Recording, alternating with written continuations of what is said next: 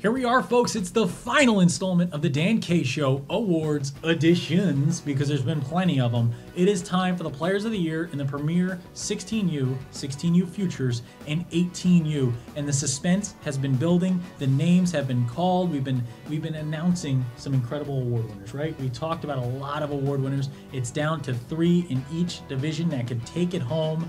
What would you be feeling right now if you were a player at home that could have possibly won this award? Oh, I'd, I'd be feeling pretty nervous. You know, there's there's so many. You see your name against those other great names, and Yep. you think to yourself like it could it could be anybody at this point. It could be anybody. It could be Lucas. And, you know, I would be thinking, "Let- let's get to it, you know, let's find out who won. But I mean, first, what did you have for dinner last night? You know, Dave, before I talk about that, let's introduce the Midwest Coach of the Year, a man by the name of Bill Zaniboni from Dells Ducks. This is a guy that took a team from third place finish in the regular season all the way to the championship game in a powerhouse division and took home some hardware. Something that I predicted. You know, Dan, there's two things I'm good at. One is cooking, and two is predicting championship teams. So let's back up and talk about that first thing for a little bit. Started cooking dinner about like three o'clock. Oh. Right. You know what? Let me cut you off there Okay. because I think it's. We'll, we'll get to it now. We'll get to it. We have. We'll, we'll talk about it after the show. But let's get into the players of the year first.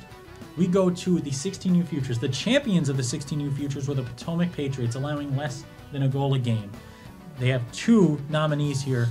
First nominee, Max Sichinowicz, goaltender of the Potomac Patriots. Then we have Ilya McCullough, defenseman of the Potomac Patriots. Finally, rounding it out, it is Jonathan Intravaya of the Pal Junior Islanders. He was your forward of the year. Lucas, who takes home Player of the Year in the 16U Futures?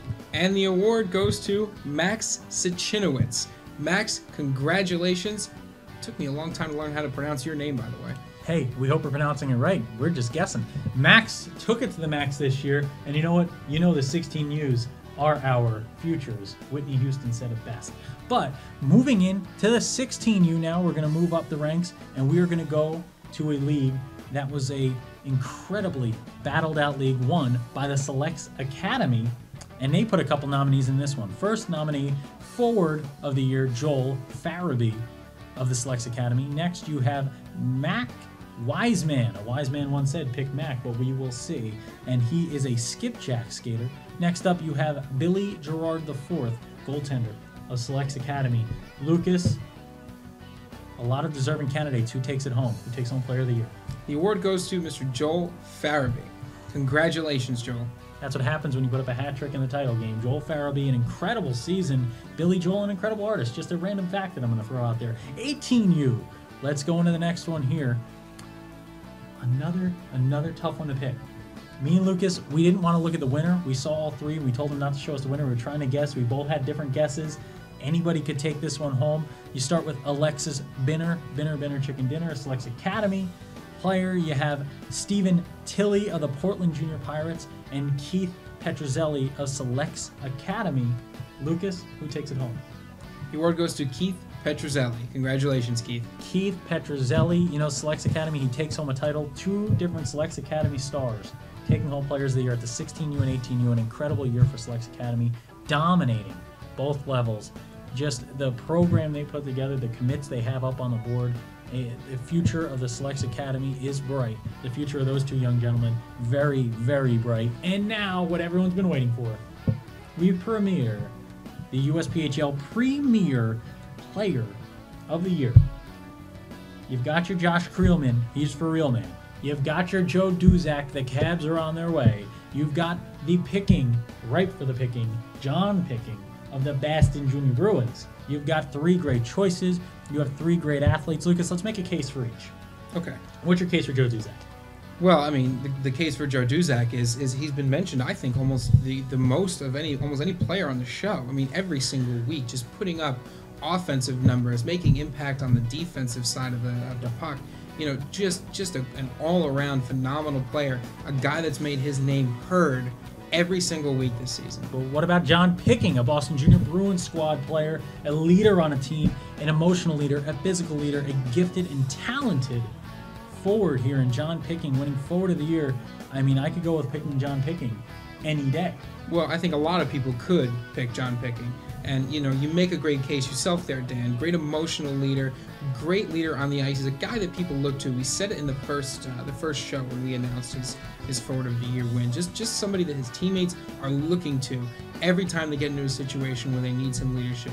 They're you know maybe they're behind or they're ahead by a goal, looking to put the other team away. He is the guy that is going to lead that final charge to get the win for the Junior Bruins. Finally, a man who led a team to a title, a man who dominated in net when the times were the most dire, a, te- a guy who led his team, stood on his head, dominated between the posts, and built a wall. I didn't know it was legal to bring big bricks to fill up a net until Josh Creelman did so out on the ice. An incredible postseason for Josh Creelman, an even better season for Josh Creelman.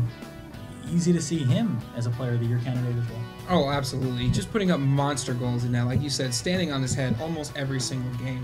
We talk a lot on the show about how important defense is. At the heart of the defense is the goaltender, because when all the other players have been beat, your last guy between the puck and the net is the goaltender. He's the guy that you know you need to be able to count on. A good goaltender can do a lot. You saw it with Jared Young of the Dells Ducks taking his team to a title from a third seed.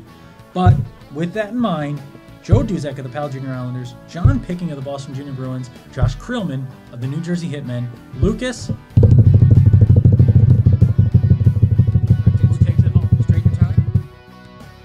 It's your turn. Who is the one? Who's the one, Lucas?